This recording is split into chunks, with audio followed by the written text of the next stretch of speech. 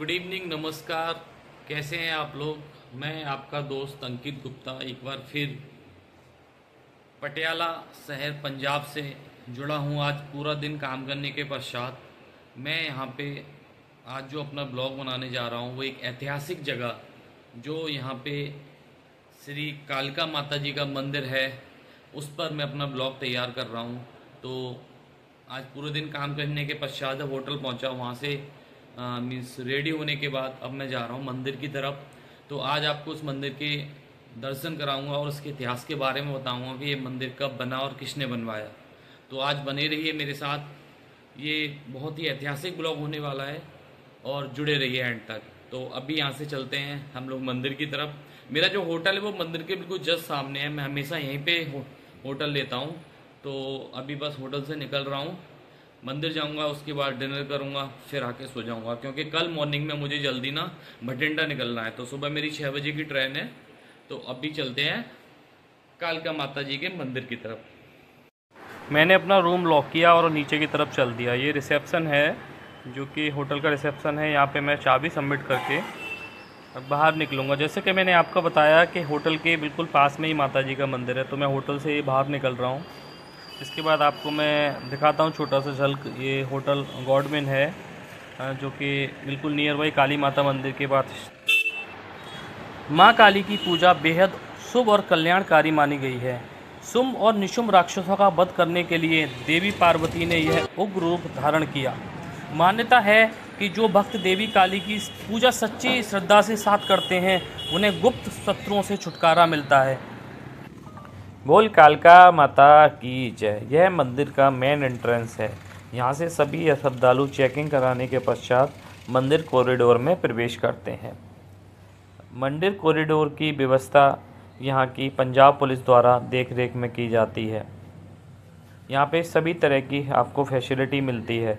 हम लोग जब मंदिर पहुँचते हैं तो यहाँ पर जो आपके जूते और चप्पल की जो व्यवस्था है, जहाँ पे जो जूता घर है वहाँ पे आप अपने जूते और चप्पल को सबमिट करके आगे मंदिर की तरफ़ बढ़ सकते हैं। मंदिर प्रांगण में ही आपको प्रसाद, माता की चुंदरी, इस तरह की दुकानों की भी व्यवस्था की गई है, जहाँ से आप प्रसाद खरीद कर माता रानी की चरणों में चढ़ा सकते हैं।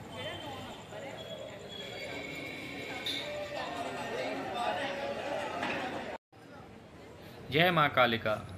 मंदिर का इतिहास मैं भक्तों आपको बताता हूँ। श्री काली देवी जी के मंदिर आज से करीब छियासी वर्ष पूर्व यहाँ पर बनाया गया था। यहाँ केवल पटियाला शहर नहीं, बल्कि पंजाब और देश भर से भक्त माथा टेकने आते हैं। यहाँ पर स्थापित माँ काली देवी की मूर्ति कलकत्ता से खास तौर पर लाई गई और यहाँ पर जो जलने वाली ज्योति है, वो भी बंगाल से लाई गई, जो भी खंडन के तौर पर आज भी जल रही है।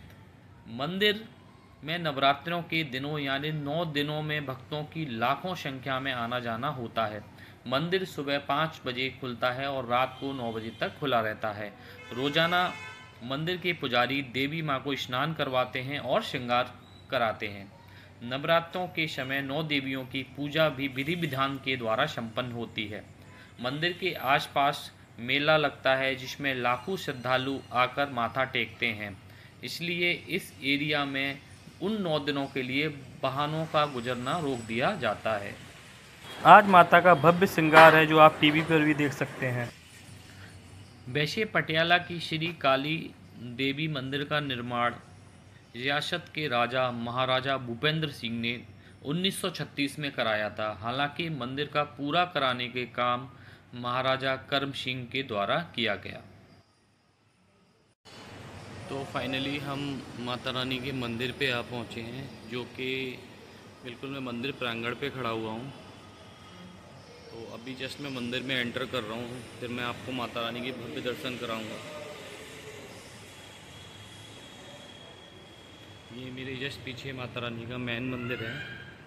यहाँ पे मैं जा रहा हूँ मंदिर की तरफ़, और माँ जगत कल्याणी माँ कालका जी के दर्शन कराता हूँ। या देवी सुसर्वभूते रूपे संसता नमस्तस्ते नमस्तस्ते नमस्तस्ते, नमो नमः।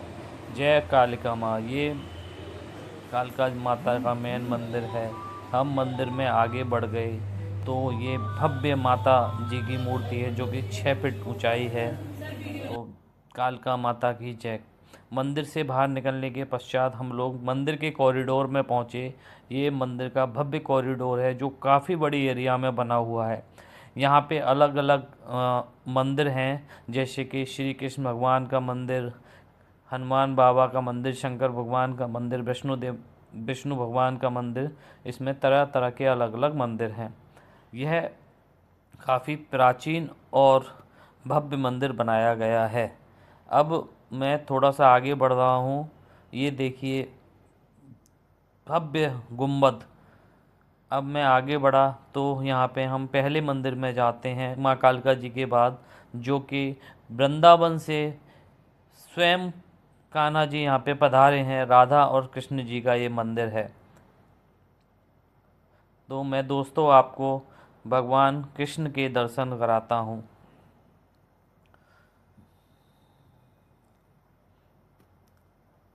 बोलो, बांके बिहारी लाल की जय।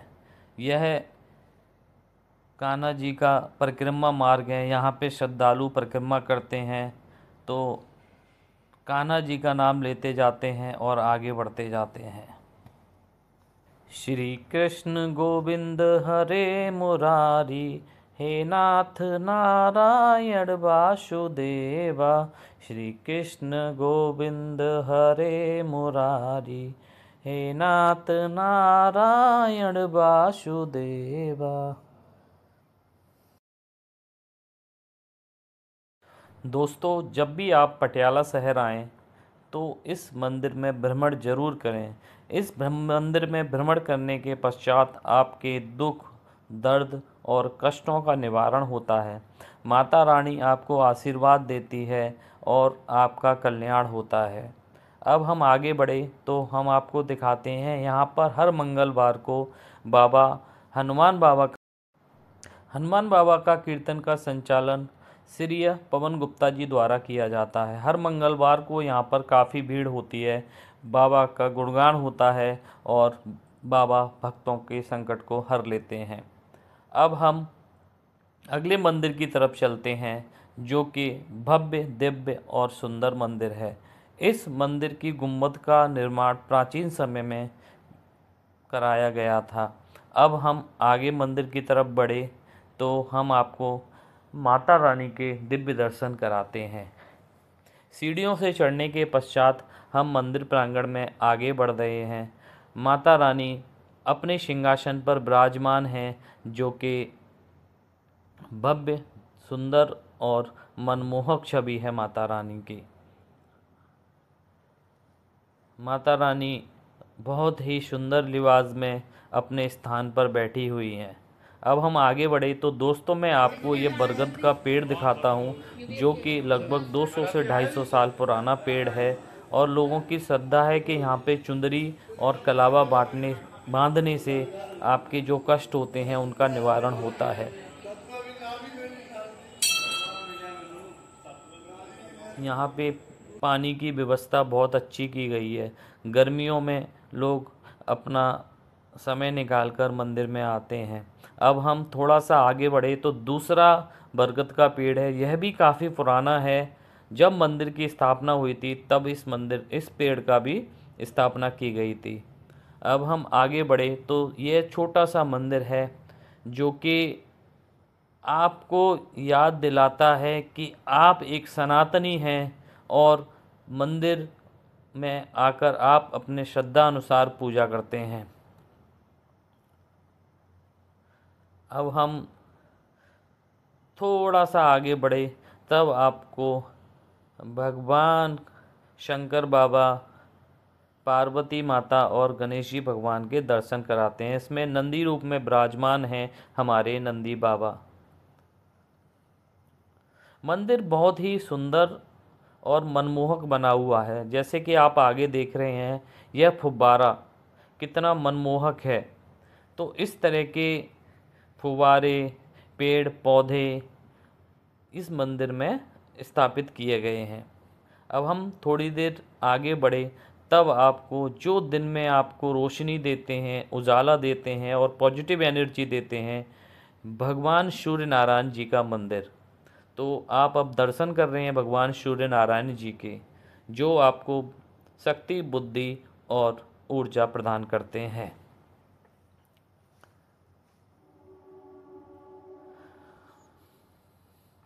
दोस्तों, जब भी कोई शख्स मंदिर में आता है तो उसके अंदर नेगेटिव एनर्जी बाहर हो जाती है और पॉजिटिव छवि आने लग जाती है। अब हमारे बाबा श्री बालाजी महाराज के मंदिर का दर्शन कराता हूँ आपको। यह हमारे बालाजी महाराज हैं, हनुमान बाबा हैं, जो कलयुग में भक्तों का कल्याण कर रहे हैं। बोलो, शियापति रामचंद्र की जय। बोलो, बालाजी महाराज की जय। दोस्तों, यहाँ पे एक बोर्ड लगाया हुआ है, जिसमें पूरा हनुमान चालीसा और हनुमान जी की आरती है। इसके पश्चात यहाँ पे भी परिक्रमा मार्ग है, जो कि हनुमान बाबा की परिक्रमा लोग करते हैं तो यहाँ पे आके अपनी 11, 21 और 101 परिक्रमा करने के पश्चात अपने घर की तरफ़ आगे बढ़ते हैं। तो मैं परिक्रमा मार्ग के आपको दर्शन करा रहा हूँ। परिक्रमा मार्ग से निकलने के पश्चात अब हमारा एक एग्ज़िट गेट आता है। एग्ज़िट गेट जो कि बाहर की तरफ़ रास्ता जा रहा है वहाँ पे आप देखेंगे कि श्री हनुमान बाबा के जो बारह नाम हैं वो इस पर स्थापित किए गए हैं। जय श्री बालाजी शालासर महाराज की जय। यह बारह नाम हैं, लोगों को अभी तक पता नहीं है, कुछ शख्सों को, कि भगवान हनुमान बाबा के कितने बारह नाम थे। तो ये कलयुग में बारह नामों से हम लोग हनुमान बाबा को जानते हैं। अब हम इन नामों को देखते हुए और अब मैं अपनी मन और बुद्धि में उन्हें उतारते हुए आगे बढ़ेंगे। हनुमान बाबा, आप सभी भक्तों के कष्टों को दूर करें। अब हम थोड़ा सा आगे बढ़े तो यह ज्योतिर्लिंग के बारह नाम हैं, जो कि हमारे देश में अलग अलग जगह पर स्थापित हैं। भगवान गणेश जी की अद्भुत प्रतिमा है यहाँ पे। बोलो, गणेश भगवान की जय। पार्वती के लाल की जय। अब कलयुग के बाबा श्री भैरवनाथ महाराज के दर्शन हैं। यहाँ पे भैरव बाबा बहुत ही अद्भुत और सुंदर विराजमान है। लोग यहाँ पे पूजा, अर्चना और प्रसादों का वितरण करते हैं। इसके पश्चात हम आगे बढ़े तो यह मंदिर का बाहरी क्षेत्र है जहाँ पर तालाब की स्थापना की गई है, जो कि बहुत ही अद्भुत और सुंदर है। अभी इस समय इस तालाब में पानी नहीं है, लेकिन आप अगर गर्मियों के समय आते हो तो यहाँ पे पूरा तालाब पानी से भरा हुआ होता है और यहाँ पे नौका विहार होती है। पट, पटियाला के आसपास के लोग यहाँ पर इंजॉय करने आते हैं अपने फैमिली के साथ, बच्चों के साथ और अपने बुज़ुर्ग माँ बाप के साथ। यहाँ पे आके बहुत अच्छा लगता है, लोग समय स्पेंड करते हैं और बाबा के दर्शन करते हैं, माँ कालका जी के दर्शन करते हैं, तत्पश्चात अपने घर के लिए आगे बढ़ते हैं। जब हम थोड़ा सा आगे बढ़े तो यहाँ पे आप देखेंगे जल सेवा है, जो कि स्वच्छ, सुंदर और साफ़ पानी आपको पीने को मिलता है। इस मंदिर की एक बहुत अच्छी खासियत है कि आपको बारह महीने, तीसों दिन, चौबीसों घंटे, सुबह, दोपहर, शाम तीन प्रणाली में आपको भंडारे की व्यवस्था होती है। आप सुबह ब्रेकफास्ट यहाँ पर कर सकते हैं, दोपहर में खाना ले सकते हैं, शाम को भी खाना ले सकते हैं। तो मैं आपको जो रसोई है, जो लंगर भवन है, उसके दर्शन करा रहा हूँ। यहाँ पे आप कभी भी आके खाना खा सकते हैं और अपनी श्रद्धा अनुसार दान देकर इस भव्य भंडारे में सहयोग कर सकते हैं। तो मैंने भी यार डिसीज़न लिया कि मैं भी शाम का खाना इस भंडारे और लंगर में लेता हूँ। तो हमारे कुछ श्रद्धालु लोग बैठकर यहाँ पे भोजन प्राप्त कर रहे हैं।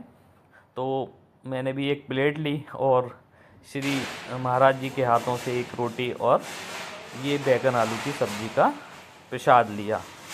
प्रसाद लेने के तत्पश्चात मैंने जगह ग्रहण की और जैसे कि आप देख रहे हैं, मैं एक रोटी और बैगन का भट्टा खा के निकल रहा हूँ। जैसे कि गुरु महाराज ने लिखा है, आप सभी मेरे हृदय में रहते हैं, मेरी सेवा एवं भक्ति का पूर्ण आप सभी लोगों का हृदय से आभार। अब हम मंदिर के बाहरी ओर हैं।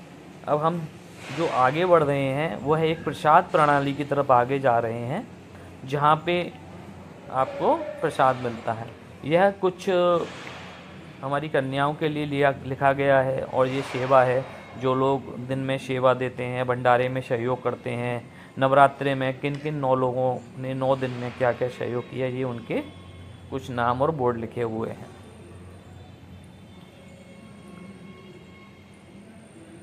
आप कह सकते हैं कि पटियाला की आन बान और शान यहाँ के राजा ने इस मंदिर का जब निर्माण कराया तो उन्होंने सोचा था कि कलयुग में भक्तों का कल्याण होगा। तो श्री कालिका माता की जय।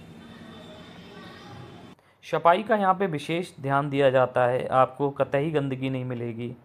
और अब मैं जिस लाइन में जा रहा हूँ, वहाँ पे जैसे माता वैष्णो देवी में प्रसाद मिलता है, वैसे ही यहाँ पर आप